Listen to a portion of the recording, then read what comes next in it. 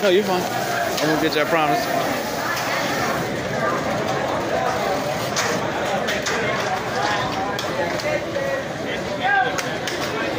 Okay, Ryder, let him start.